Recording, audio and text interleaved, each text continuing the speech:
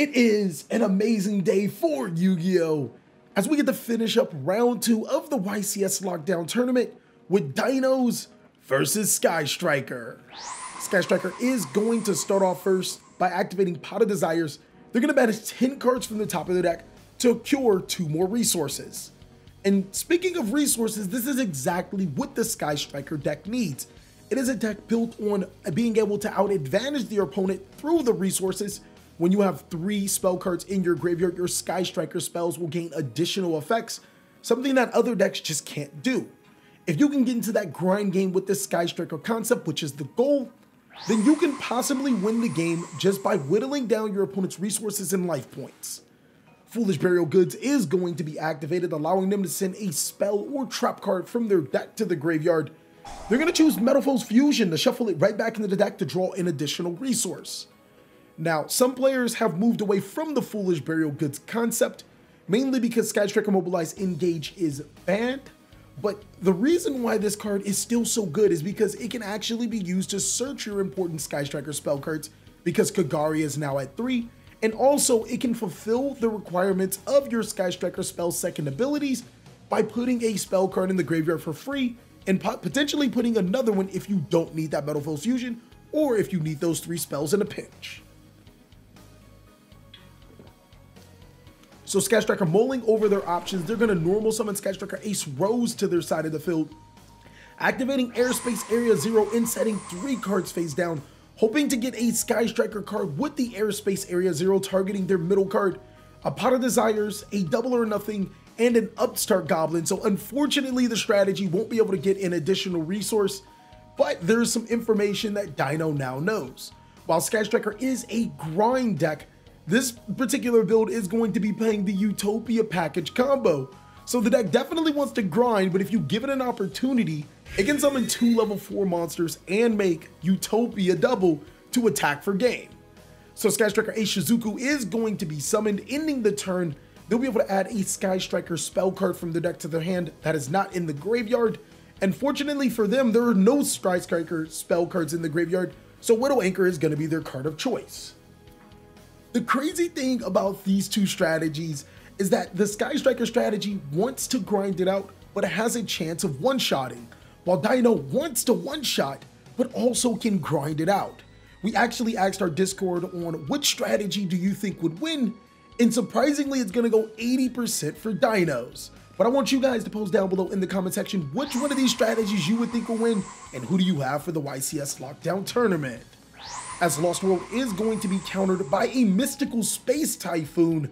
That's going to prevent dinos from getting deeper into their combos, but it looks like they have another Lost World, and it's going to be countered by another mystical space typhoon.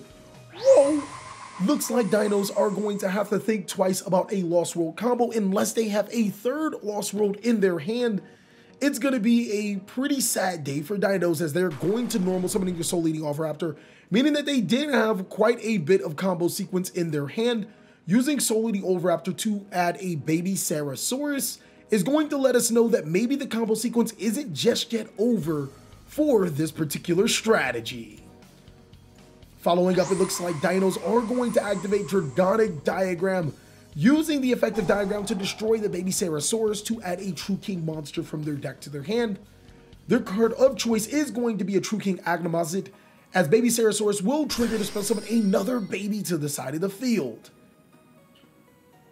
So it's going to be really interesting to see how dinos are going to do this, as they're going to destroy Babycerasaurus to spell summon another Babycerasaurus to the graveyard. If you guys find yourself in that particular situation, do not summon the Babycerasaurus that you destroyed. But Babycerasaurus effect will trigger the one that was destroyed in the graveyard to special summon another copy. And it looks like Lithosagym is going to be the next card in the Dino strategy, destroying both Babycerasauruses to special summon itself, and then resolving the effect of Lithosagym since two Earth monsters were destroyed. They're going to be able to banish three cards from Sky Striker's extra deck.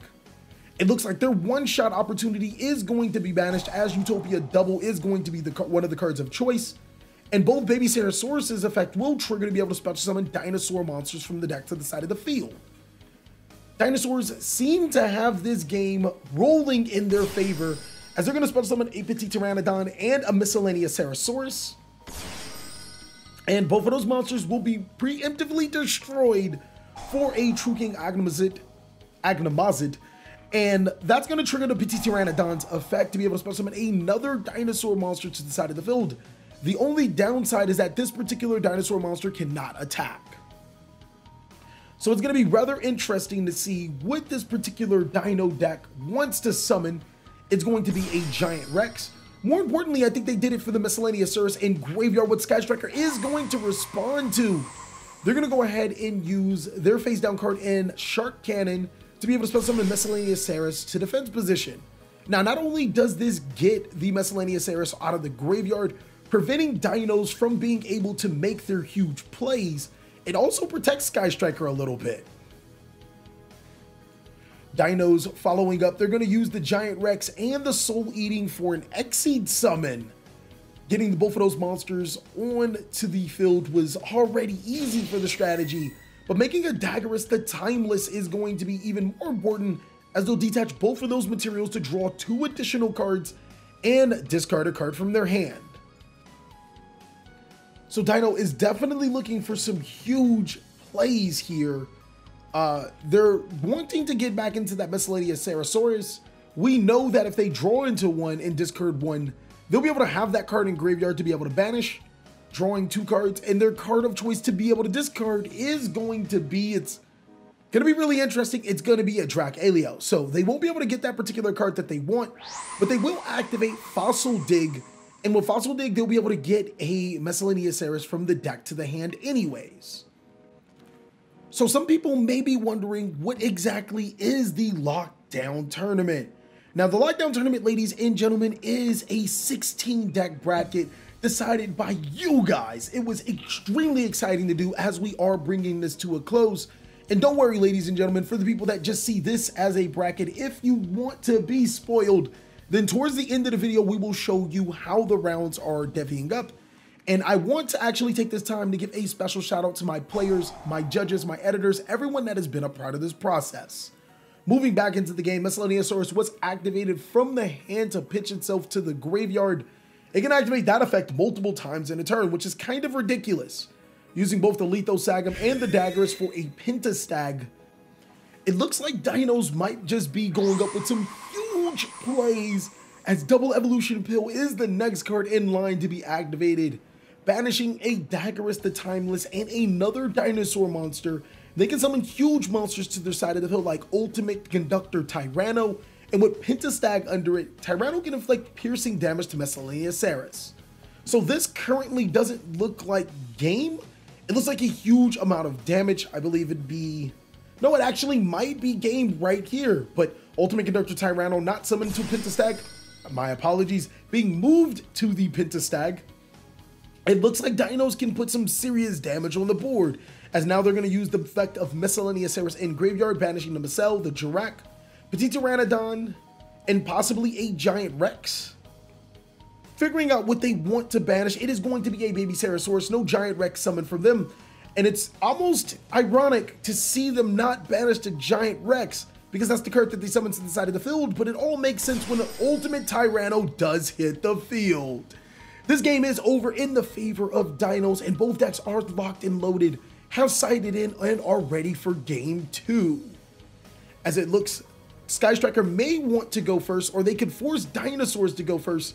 But who knows? Dinos actually might have been prepared. Sky Striker, knowing its game, they're going to go ahead and start off with Sky Striker uh, Area 0, set two cards face down, and they could potentially use Area 0 one of their cards. This time around, hoping to get a Sky Striker spell off of the reveal. Area 0 targeting the middle card, they're going to reveal Mystic Mine, a Artifact Lancea, and a Sky Striker Ace Ray. They're going to grab the Sky Striker Ace Ray and then shuffle the other two cards inside of their deck. But more importantly, they're actually going to have to send a card to the graveyard, which is Mystical Space Typhoon.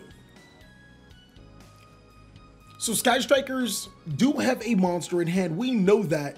It's going to be a Ray, but if they have an additional Sky Striker card that they can use right now, they can actually go into Kagari to recur that resource and then go into the Shizuku for a free search. But as you guys can see, the normal play would just be to normal summon Ray, and now use Ray for the link summon into a Sky Striker Ace Shizuku.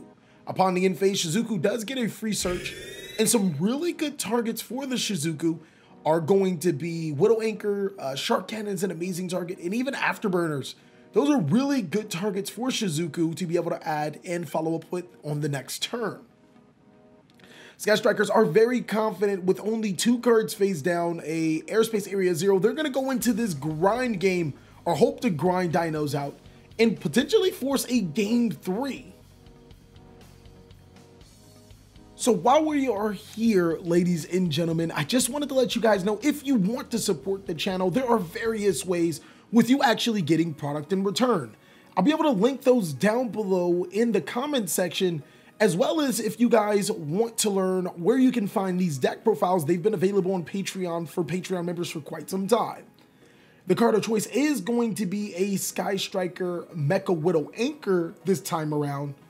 And now the strategy will have that extra source of, you know, disruption on the next following turn, as obviously it could not be activated or set to the side of the field during the end phase, passing it right back to Dinos. They're going to have their hands full, knowing that both decks have sighted, set rotation is going to be the card to activate. There are some really good cards to be able to stop dinos that Sky Striker can be playing right now. So set rotation is going to set the Lost World to the side of the field, and it's also going to set a Dragonic diagram for dinos. The really cautious thing that this deck has to worry about is there can be only one. Dinos with that in mind is probably going to try to play around that because if they are caught summoning Arc animated Archosaur to their side of the field with a there can be only one, it can be really painful. Dragonic Diagram destroying a Petit Pteranodon, it's going to allow them to special summon or add a True King monster from the deck to the hand. And then Petit Pteranodon is going to allow them to special summon a dinosaur monster to the side of the field. Their True King monster of choice being Lithosagym, and their monster that is going to be summoned is going to be Soul Eating Oviraptor. Oviraptor will use its effect to be able to add a dinosaur monster from the deck to the hand, and that's going to be that Dino Wrestler Pankratops. Now, Pankratops is really good. Uh, in theory, Dinos actually could have destroyed the Petit Pteranodon to summon the Pankratops uh, to their side of the field instead of going into Soul, and then when the There Can Be Only One is triggered, they can just use Pankratops to destroy it, but they're going to go extra cautious, banishing a Drac-Alio and also a True King Agnimazud to be able to banish a card in the graveyard in Sky Striker Ace Ray.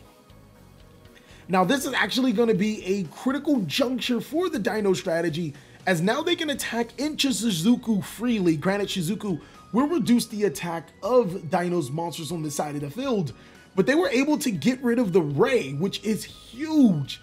That's going to prevent the, you know, Sky Strikers from basically uh, snowballing here, special summoning the Ray back to the side of the field, potentially making a Kana, which could prevent the attack of the Soul Eating, and then making a Shizuku or, uh, you know, Sky Striker Kagari, which will allow them to gain even further resources. Sky Striker is going to activate multi-role to get rid of the Lost World. They're now free to be able to activate filled spell cards now that the, the Lost World is offside of the field they're just going to go ahead and set two cards face down, and that's going to be possibly the end of their turn. No more cards in hand. They're going to go ahead and pass their turn right back to Dinos. And Dinos being extra cautious, they don't necessarily want to play into there can be only one, but they do need to figure out if there can be only one is the card face down. So they're going to go ahead and use Dragonic Diagram to destroy True King Lithosagym. That's going to add another Agnimazud to the from the deck to the hand but it's also going to trigger Lethal Lithosagym's other ability, allowing them to special summon a non-Earth worm monster to their side of the field. Monster of choice is going to be the Agni in Graveyard that was destroyed through Agni in hand. So now with two worms on the side of the field, that there can be only one is going to be revealed. Dino smartly playing around that card. Sometimes you always have to play around cards that may not exist inside of a strategy but sometimes they exist and you get rewarded for it. So this time around, it looks like they're just going to want to go ahead and attack for some huge amounts of damage. Sky Strikers may have something to say about that. Uh, inside of the battle phase, they're going to use Shark Cannon to be able to banish a monster in the graveyard. Their card of choice is going to be Petit Pteranodon. And then since there are three spell cards in the graveyard, they can use the Sky Striker Mecha Widow Anchor to take control of the Agni from the opponent's side of the field, from Dino's side of the field, preventing them from attacking with any monsters. So this is going to be really good for Sky Strikers as now uh, people, some people may not know, but multi-role gains counters when Sky Strikers are Sky Striker spell cards are activated and can set Sky Striker spell cards on either player's in phase. It also puts dinos in a huge spot because there can be only one does prevent them from summoning any other dinosaur monsters and they pretty much use the effect of the worm monster that they would have liked to summon. So it looks like they have no other options. It's going to be right back to Sky Strikers. But Sky Strikers are going to be able to set two Sky Striker spell cards to their side of the field because two were used. Their cards of choice is going to be the Widow Anchor and the Shark Cannon.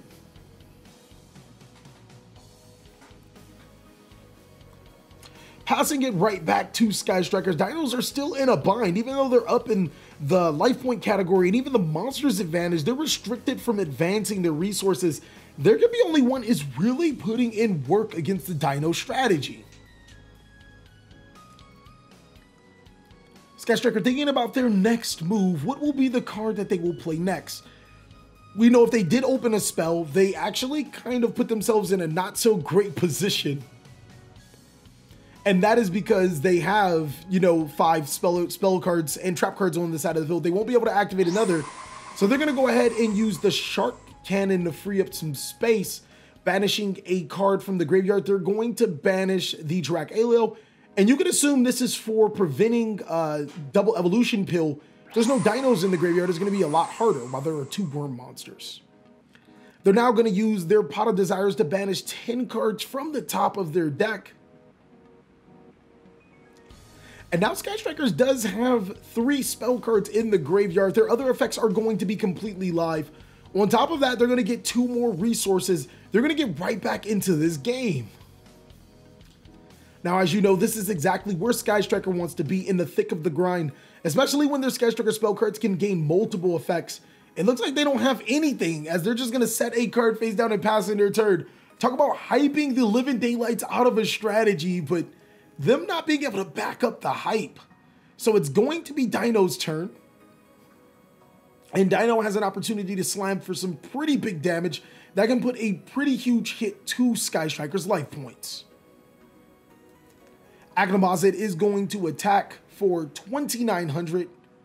That's probably going to be met with a Sky Striker Mecha Widow Anchor, the one that was set through the multi-roll. And that's going to be the end for Dinos. So multi-role could have actually taken control, or not multi-role, uh, Mecha, Mecha Widow Anchor could have taken control of a dinosaur monster, but under these current situations, that wouldn't have done much as Sky Strikers can't pair it up with a monster of their own. They just set a card face down and pass their turn, just to Dinos is going to wear out these life points by attacking with their Soul Eating and their Agnimazud.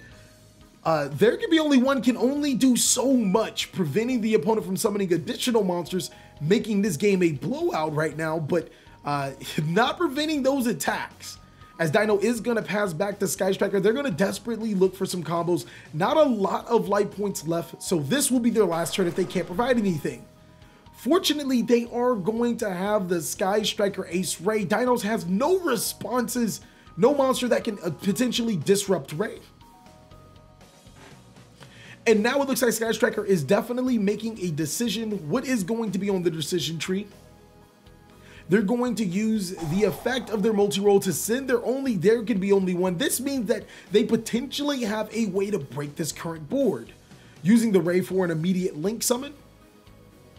A monster in mind that I can think of would probably have to be Hayate. It is going to be the monster that is going to be summoned. Hayate can attack directly for 1500 damage, but also put a Sky Striker spell card into the graveyard similar to how Foolish Burial Goods does.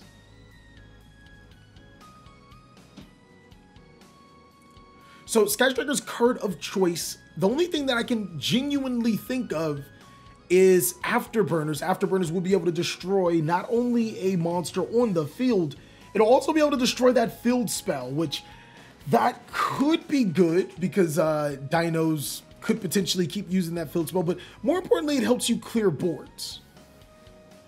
So Hayate used for a link summon, it's going to make Sky Striker Ace Kagari. Kagari is going to get back that Afterburners. Afterburners is going to be used. That's going to go ahead and destroy two cards on the field because there are multiple spell cards in the graveyard. The targets for Sky Striker is going to be pretty simple. It's going to be the Agni, and it's also going to be the Dragonic Diagram. Now, Agni is going to actually use its effect. Some people forget about Agni's effect, but Dino didn't necessarily. They're going to get Lithosagym back from their graveyard to their hand, but Sky Striker, I am 100% sure, has ways to be able to get over this current situation. They're not necessarily phased by Lithosagym getting back into the hand. Sky Striker, thinking about their next move. This might just be the end of their turn. Uh, after making the Kagari into a Shizuku, that's going to allow them to grind a little bit longer. But uh, ultimately, that's just going to be it. Unfortunately, the banning of Sky Striker Mobilize Engage does hurt Sky Strikers tremendously. But them making to the second round is a testament on how powerful the deck can still be. Using the effect of Shizuku, they're going to be able to add from their decks to the hand a card not in the graveyard. We already know both Widow Anchors were used, if I remember correctly. Afterburners is in the graveyard. No, not both Widow Anchors. My apologies. One of them is banished, so they'll be able to get the second one. And the cool thing about this is that they'll be able to do that Shizuku shuffle that is pretty rare to do. They can activate that uh, Sky Striker Mecha Widow Anchor to negate a monster on the side of the field. And then since it's still the end phase, they can use the effect of their multi-roll to be able to set that Widow Anchor back to the side of the field. So we know that Sky Strikers has at least one disruption on their side of the field with that Mecha Widow Anchor that can make Dinos want to think twice about going with some True King plays. We also don't potentially know a, a few of their back row cards, so it could be some cards that could be devastating for the strategy. As Dino is going to attack with their Soul Eating, they're going to take some damage. They're going to lose their monster, bring themselves down to 6,400 life points, that's pretty odd until you realize that they have a Lightning Storm that is critical for the strategy. They'll be able to destroy all spells and trap cards. Sky Striker is going to respond by using Ego Booster on Shizuku, but they're going to lose all of their back row. One of them just so happened to be another There Can Be Only One, so they were pretty confident, but another one just so happens to be an Artifact Lancea. Very interesting that they would even set Lancea to the side of the field maybe expecting twin twisters in the sideboard, Lancea is going to find itself, the Widow Anchor is going to be correctly banished. And Lancea does provide a, another obstacle for uh, Dinos. And the, the big obstacle is going to be Lancea contribute itself even on the field to prevent dinos from banishing. As you guys know, cards like Miscellaneousaurus um, and also the effects of Double Evolution Pill need to banish cards in order to resolve. So getting that artifact Lancea to their side of the field is pretty good for them. Dinos are going to follow with the effects of terraforming. They're going to search a lost world from their decks to their hand. And you can assume that since they searched the terraforming, they're going to go ahead and activate said card. Terraforming, or not Terraforming, Lost World is going to be activated, following up by a Dino Wrestler Pankratops. Since the opponent does control more monsters than they do, then of course Pankratops can be summoned for free. Also a free token, Pankratops using its effect to destroy the token, but Lost World is going to protect it, allowing them to destroy a Babycerasaurus. Sarasaurus is going to activate its effect to spell summon Soul Eating, and this deck has not committed as normal summon, as Soul Eating will add another baby from the deck to the hand. And that monster is going to be normal summoning Babycerasaurus. So leading to destroy baby to special summon another baby to the side of the build, it will trigger the effect of Babycerasaurus' effect to be able to special summon another dinosaur monster from the deck to the side of the field. Try saying that five times fast, ladies and gentlemen. Babycerasaurus, Baby Sarasaurus, Babycerasaurus. As both Babycerasaurus are now going to be destroyed with Lithosagym in hand. Lithosagym is going to summon itself, destroying both Babycerasaurus and now it looks like Lithosagym is allowing to, or is going to uh, banish some important Sky Striker cards. This is going to be really powerful for Dinos as now they are playing a grind game, but since they've destroyed so many Babycerasaurus, they're going to be able to gain a ton of advantage. The card of choice is going to be a Shizuku, a Zeke, and a Utopia double, so no one-shotting for Sky Strikers. They're also going to be able to trigger the effect of, you guys should already guess it, I've already said its name too many times, to special summon two additional dinosaur monsters level 4 or lower to their side of the field.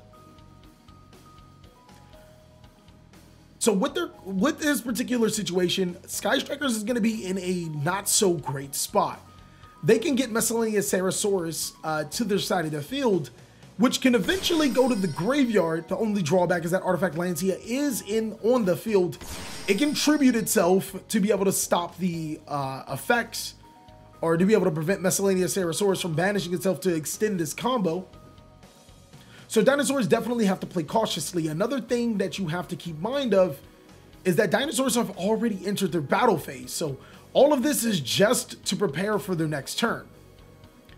Lithosagym and Miscellaneousaurus both being used for a Link, and that's pretty awkward since Lithosagym is a worm monster.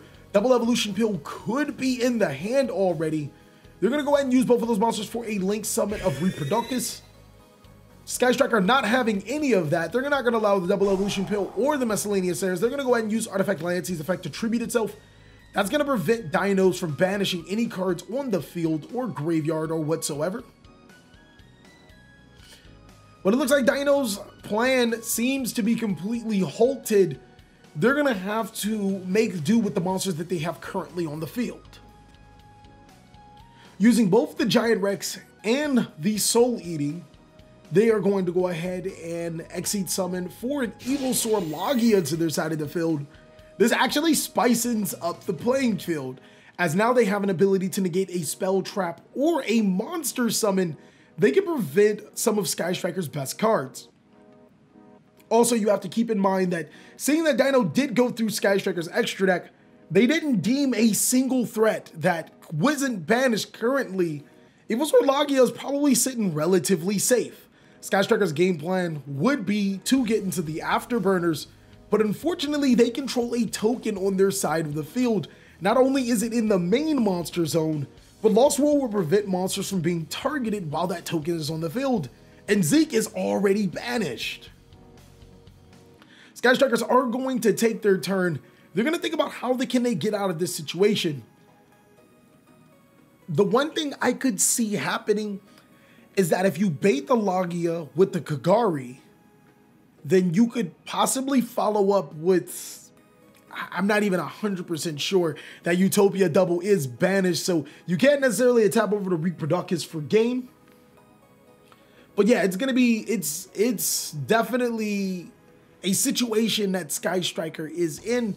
Currently, they're looking through all of the resources. They're gonna go through their graveyard, see if it's enough to attack over the Evolzar Laggia, and this is just a mistake that dinos make. Unfortunately, they do not have enough spells to reduce the attack of Laggia. They would need a whopping number of spells, by the way. They're going to use that Shizuku for a link into Sky Striker Ace Kagari.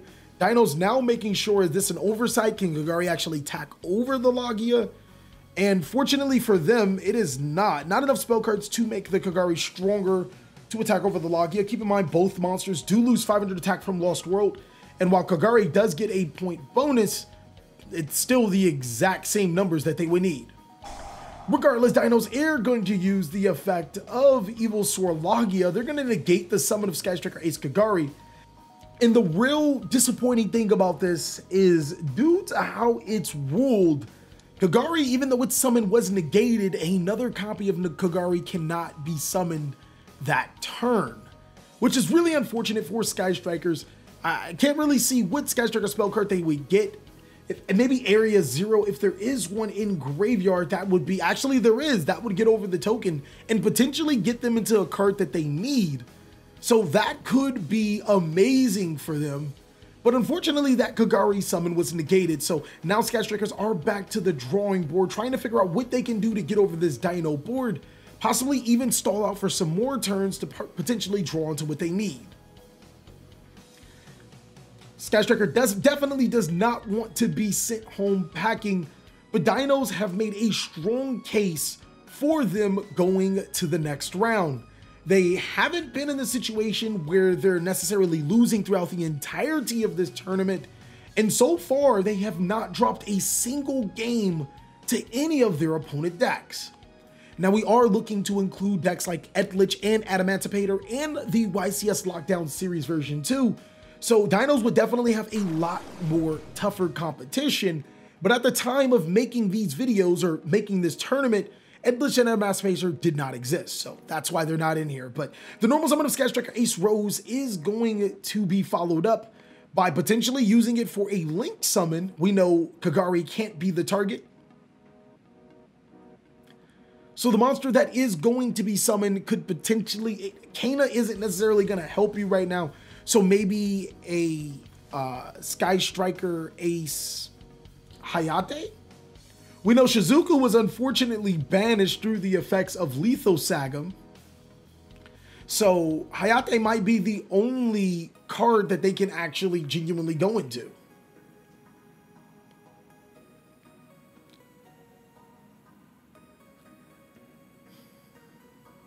Hayate is going to be the monster summoned on Sky Striker's side of the field.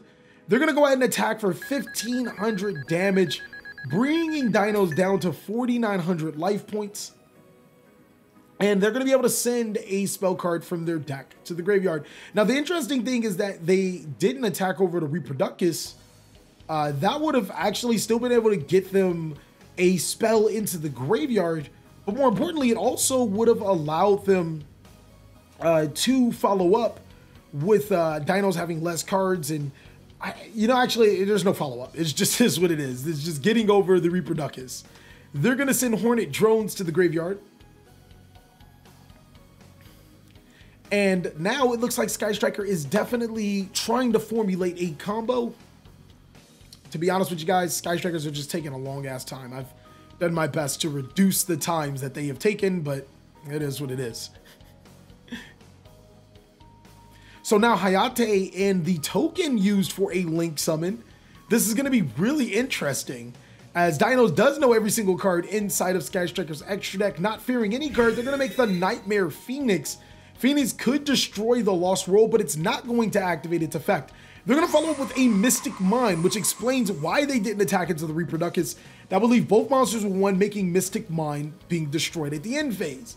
Passing it back to Dinos, it looks like they're going to buy themselves some time Dinos are going to have to figure out how to out this Mystic Mine, a card that they love to play inside of their deck.